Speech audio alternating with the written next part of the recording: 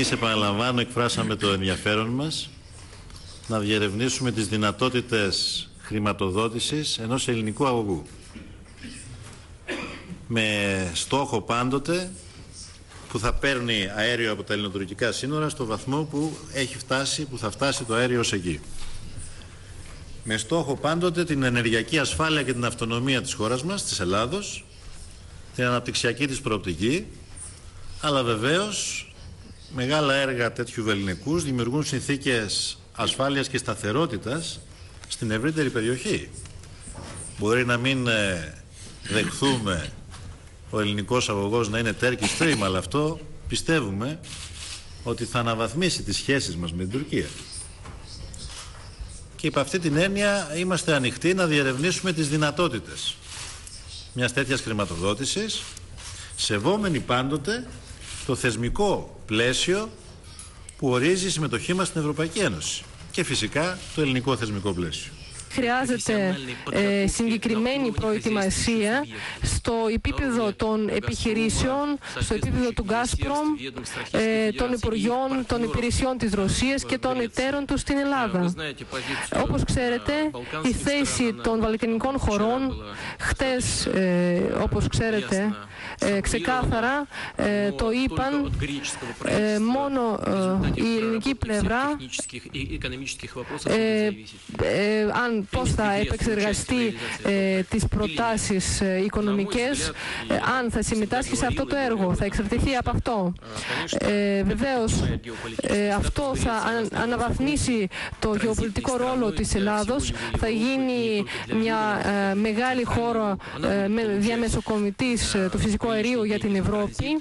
Θα υπάρχουν ε, μεγάλα κέρδη, εκατομμύρια χιλιάδες ευρώ ετησίως από τη διαμετακόμιση του αερίου και θα είναι ε, έσοδα ε, από την φορολογικά έσοδα σε όλα τα επίπεδα της εθνικής οικονομίας. Βέβαια αυτό είναι το θέμα συγχρηματοδότησης.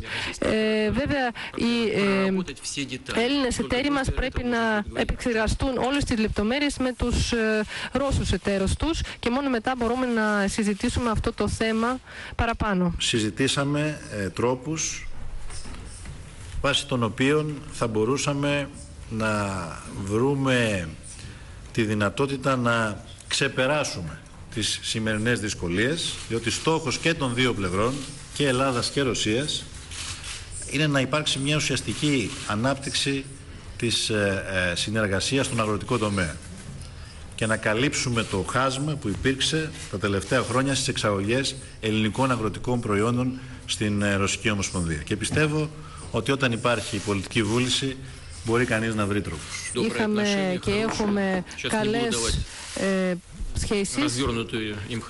Δεν θα σε λεπτομερώς δεν θα χαρακτηρίσω αυτή τη συνεργασία.